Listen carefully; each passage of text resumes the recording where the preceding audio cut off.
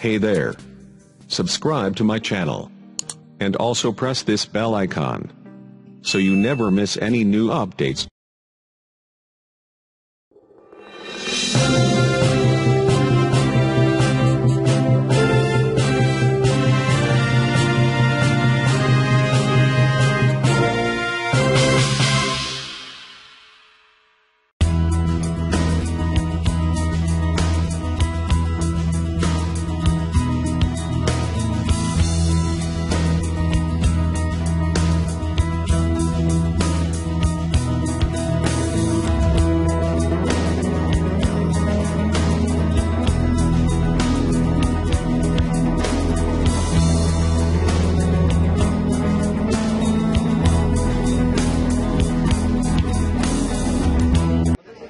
क्या पूरा कार्यक्रम था इसके बारे में जानकारी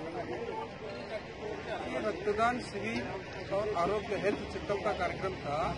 वाजपेयी जी के जन्म पर पिछले पंद्रह सालों से मैं करते आया हूँ। इसको पंद्रह साल हो गया। वाजपेयी जी पूरी देश के आदर्श है, भारतीय जनता पार्टी के आदर्श है, लेकिन मैं उनको मेरा उनसे कुछ खास लगाव है कि उनके विचार और वाजपेयी जी के नाम पर जब जीवित थे तब से पंद्रहवा कार्यक्रम है। उनके 25 दिसंबर उनके जन्मदिन पर हर साल रक्तदान शिविर और मेडिकल चेकअप का कार्यक्रम होता है वो इस साल भी हुआ है।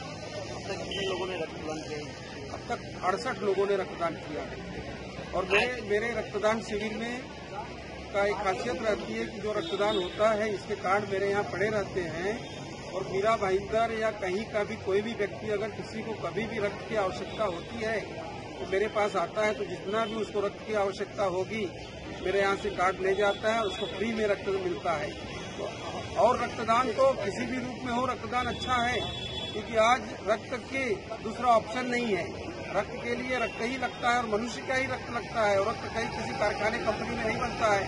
तो यहाँ पर जो रक्तदान शिविर होता है तो पिछले पंद्रह सालों से लगातार साल भर किसी को भी रक्त की आवश्यकता हुई तो आकर के मुझसे लेके जाता और फ्री में उसको रख मिलता है ये बता देंगे आप कौन सी किस जगह पे किस हॉस्पिटल में यहाँ आप ये मीरा भाईंदर का जो ब्लड बैंक है खुद की मीरा रोड में पूनम सागर में राजीव गांधी ब्लड बैंक वहीं की ब्लड बैंक है और वहीं पे रक्त रहता है और किसी को आवश्यकता हुई तो मेरे यहाँ से कार्ड ले जाकर के वहीं से उसको रख लेता। है